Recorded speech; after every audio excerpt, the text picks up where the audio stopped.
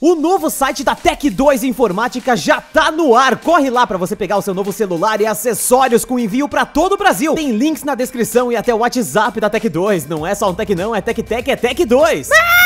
Meus pimpolhos, eu quero primeiro falar com a galerinha que gosta dos outros conteúdos do canal, que não são de Sonic, tem muitos outros assuntos pra falar, eu sei, eu lembro de vocês, com certeza. Mas nós estamos em pleno cartaz aí do Chouriço nos cinemas, então tem muito conteúdo saindo sobre ele, estatísticas, curiosidades, easter eggs e tudo mais. E a gente vai acabar fazendo essa cobertura aqui, porque é o momento de estreia do Chouriço no cinema. Mas pode ficar tranquilo, de novo, eu lembro de vocês, ok? Só esperar então um pouquinho de paciência. Agora pra você que é fã do Chouriço, isso? Ou que ainda tá com o pé atrás com relação a esse filme, se você ainda não assistiu, hoje eu vou te dar mais motivo pra você querer ir aos cinemas, visto que nosso chouriço está batendo grandes recordes e até esmagando o detetive Pikachu. Arrebenta esse like, se inscreve se não é inscrito, eu sou Lucas Almeida, dublador profissional e apaixonado por games. Você está no pós-novela Sonic, vamos nessa. Mais uma vez, eu quero agradecer até, em nome dos caras lá do Sonic do filme, quero agradecer aos fãs por terem mostrado pra Paramount que ouvir os fãs realmente dá certo. Quem diria, na verdade,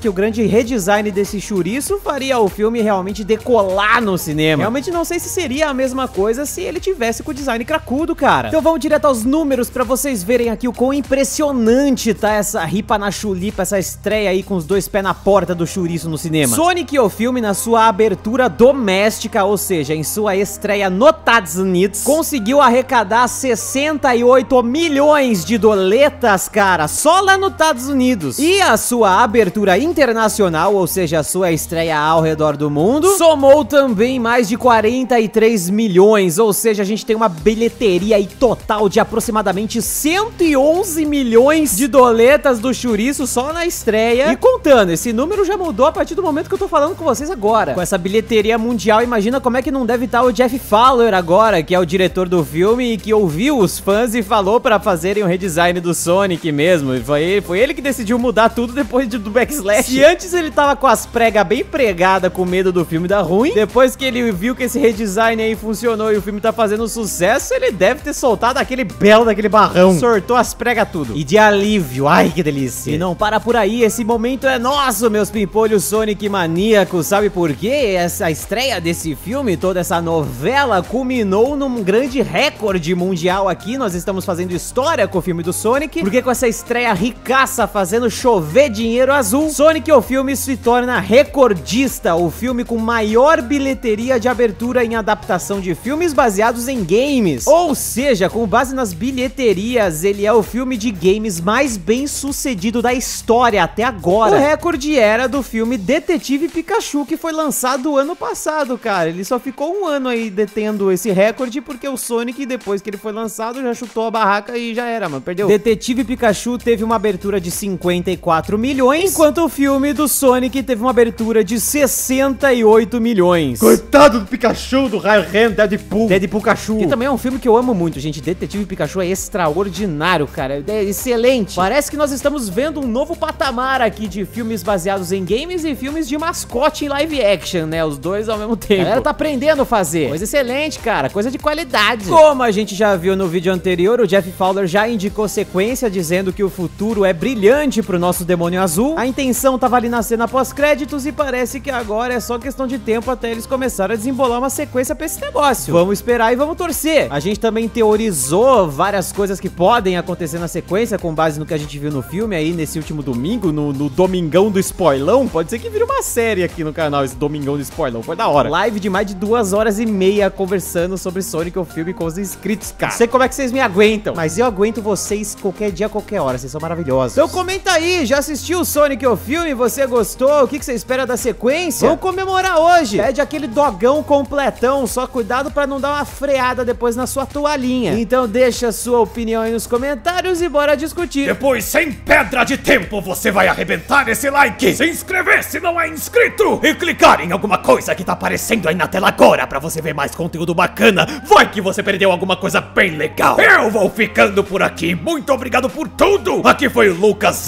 Meida e você viu a novela Sonic no Dublando Coisas. Até mais! e se ficou até o final do vídeo, digita aí, sem pedra de dinheiro!